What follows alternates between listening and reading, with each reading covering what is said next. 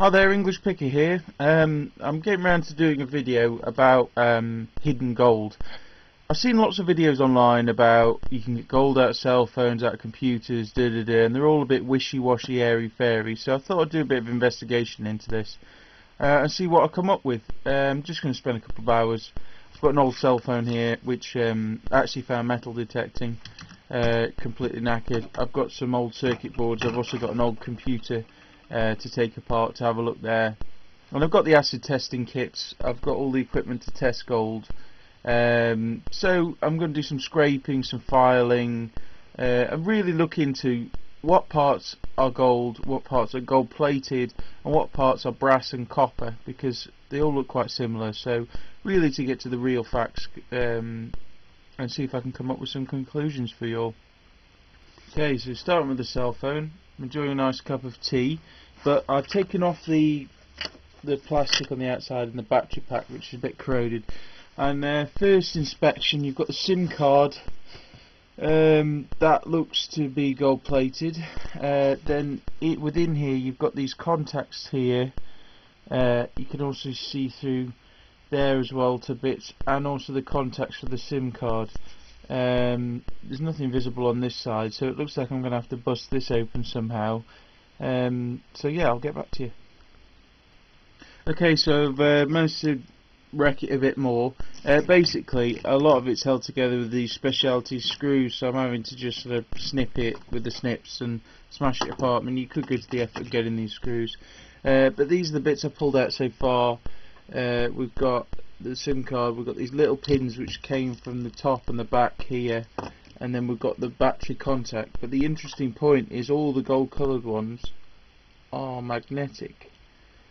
So that says they're not pure gold. Um, even the SIM card, it's it's all magnetic. So they're they're most likely plated onto some kind of ferrous metal. Uh, also behind the battery pack, there's this like foil stuff. Um, so I'm not sure what that could be as well. And then the internal components there, these bits, um, I think they're aluminium. Uh, they're not magnetic and they're really light. Okay, so as you can see, I've got all the front off, uh, most of the back. Uh, just the, this bit to pull off, which is the uh, base bit that you plug in for the power. You can see there, there's some gold-coloured bits. Um, the problem with a lot of them is they are magnetic. So, yeah, not sure. Then you've got these covers which you lift up to expose the circuit board. These must protect it. These are uh, aluminium. And then there's lots on the circuit board there but okay I'm almost there chaps. What we've got is uh, found some bits of copper. Uh, then there's some more goldy coloured bits in there. A little like motor type thing. Then the main part we've got the screen here. We've got the button contacts I suspect they might be something and they're quite sizable so uh, I'll pull those off and test them and then this is the main circuit board here You've got the contacts here, these look to be gold plated, this side's fairly smooth and simple, but this side, oh my days, that is very complicated. So, um, yeah, I'll see if I can get you close up of that. With my loupe. I mean, there's going to be platinum, gold and silver in there, but releasing it is another matter. So I'm going to try and clip off a little bit these large sections here on the corner and test it on my stone to see uh, what the content of that gold is. Okay, so I've got a speck of the gold from the plated thing. I'm going to pop a drop of acid on it and see what happens. This is the 14 to 24 carat gold acid. See what happens.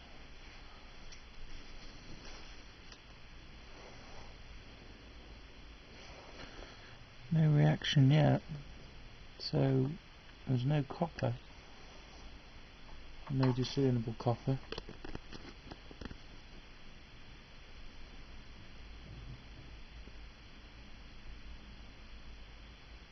I'll get back to you that.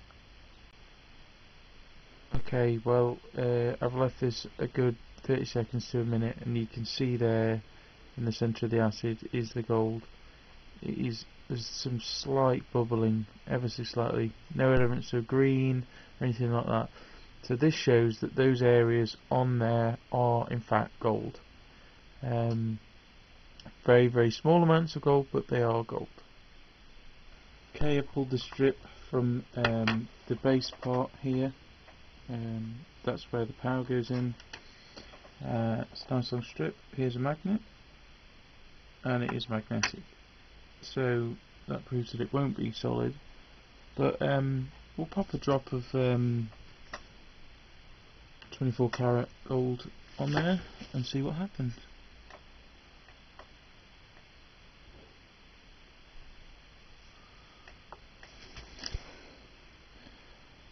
no reaction.